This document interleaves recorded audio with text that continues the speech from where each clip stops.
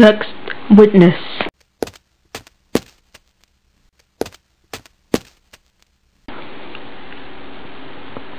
Call Torpedo Man Priest.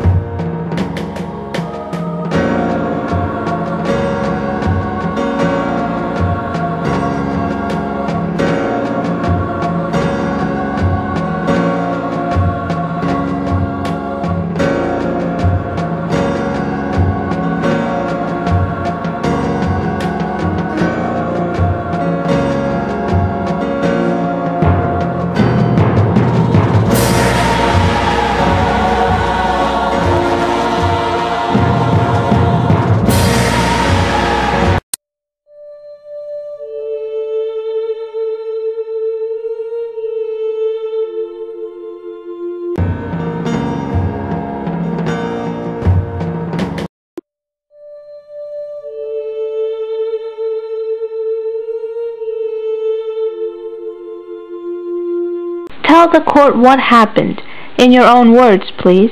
Well, sirs, it was like this. We was on this trial cruise and was running at about ten fathoms of Stein's Point when the mine got us. Lieutenant Paul had told that story first, then Engineer Norden had given his version. Spear had told the story next, followed by Genvy. Now Priest was repeating it. Each story was the same yet a little different and each sentence struck the lieutenant like the lash of a whip. They had been running at ten fathoms at half speed when the explosion came. Probably it had been a drifted acoustic or magnetic mine, which should have rusted long before, for a contact one would have finished everything and everyone at once. It had just been 1,430 hours when the submarine shattered to a blow that felt like the impact of Thor's hammer. Her tail rose, she rolled half over and started down in a steep, swift dive. Men fell or were flung in scrambling heaps. Lieutenant Paul, half stunned, found himself under four heavy men. Almost instantly, it seemed Lieutenant Commander Orm's voice rang over the uproar. Stop engines! Blow one and two! Blow four and six.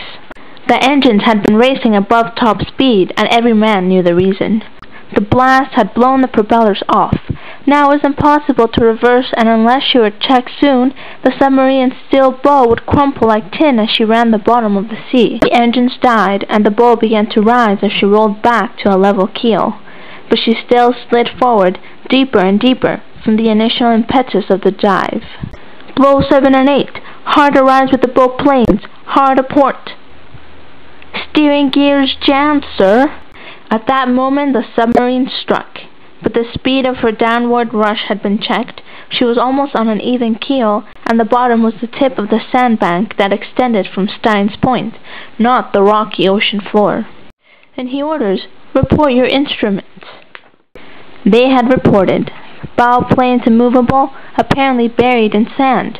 The radio was still usable, though damaged. The bow tanks could be neither blown nor flooded, their vanes dogged with sand. At the stern the propellers were gone, the steering gear wrecked and the stern tanks flooded. All the hatches were hopelessly jammed.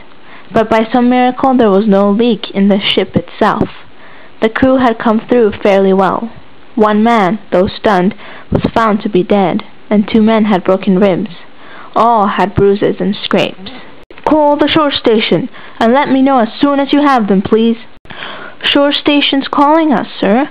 Our tender got some of the blast and reported we were probably hit. Right, I'll talk to them. Yes, sir, must have been a mine. Our steering gear is wrecked, propellers have gone, and she dived into the sands off Stein's Point. The stern tanks are flooded, and she won't move at all. None of our hatches, even the escape ones, can be opened. Torpedo Man Kimmel is dead. The rest are all right. We're about 30 fathoms down. We can be reached fairly easily, and we've enough air for almost two days. How soon can our second one be ready, sir? How about planes, then, sir? I see, sir.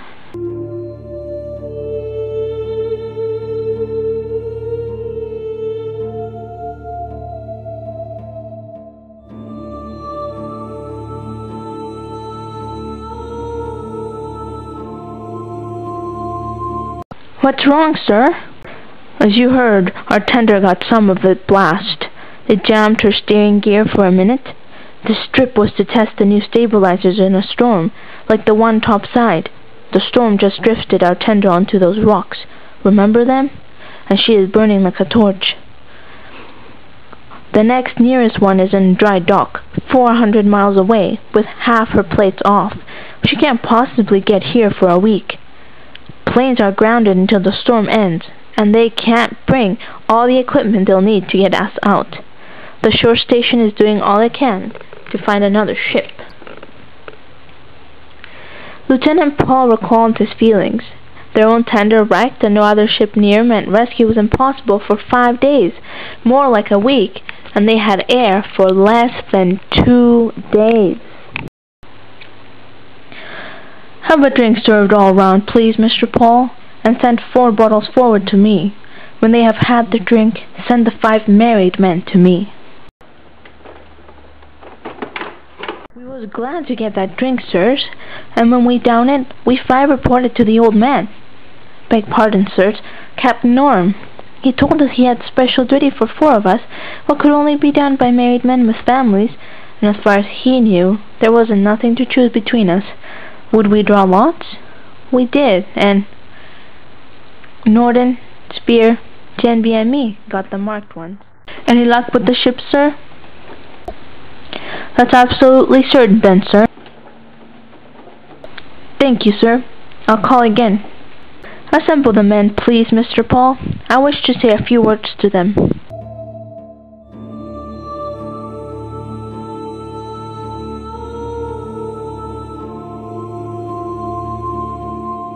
Men. Men. I have a few things to say, and they're not all pleasant, nor easy. First, I'd like to say that I think you're the finest crew I've ever seen, let alone commanded. I know that you will take this news like men.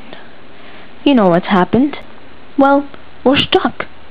And we're stuck until someone on top pulls the sub up, for all our hatches are stuck too. Now, there is one very hard job to be done, but it's one that can be done only by men with families. You know them.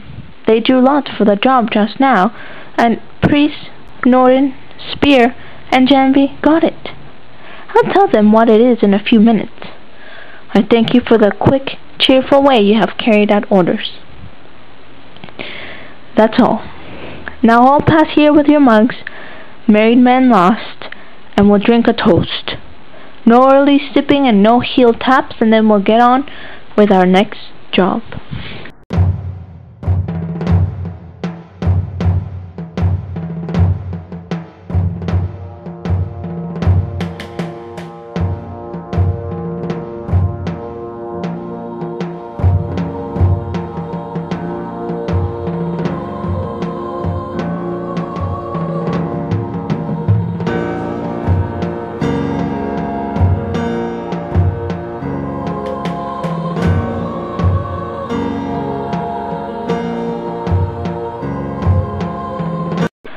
God save our country and king.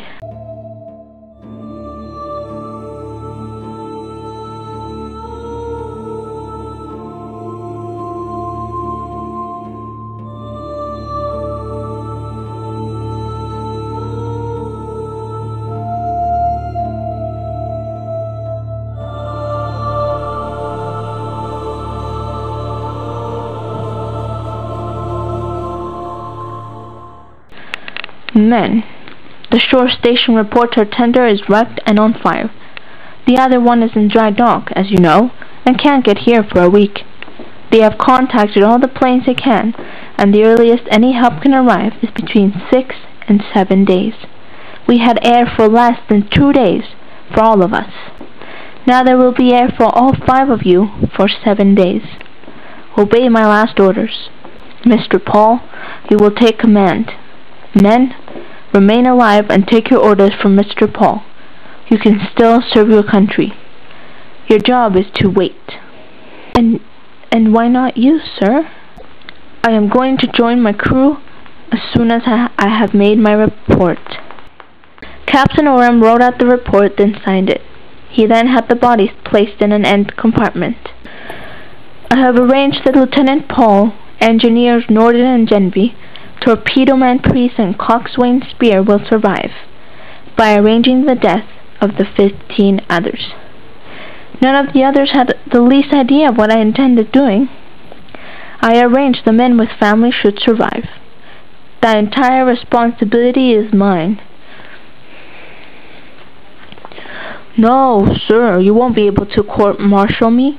I could condemn my whole crew to death, or sacrifice fifteen and save five.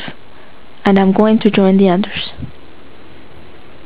Goodbye, sir.